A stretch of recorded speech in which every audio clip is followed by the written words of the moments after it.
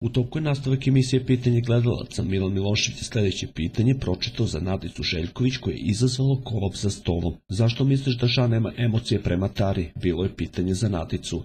Ja znam da on još voli Ivanu i iz njegove priče zato ga uporno i gledam sa dva oka. Sigurna sam da ona igra dobro reality igru, nije ona naivna. Dobro ga šalta kroz reality, bit će pokajanje i sad ga izjeda. Žao mi je njega, za nju me duša boli, rekla je Natica. Meni je Nenad i pre ovog odnosa uvek o supruzi pričao sve najbolje, rekao mi je da nije nje, on ne bi postao to što jeste, ona je neko koga je uvek vraćao na šine i mene boli da je povredio osobu koja nije zaslužila. Sa druge strane mi nije žao jer je ušao u vezu sa mnom jer me voli, rekla je Tara.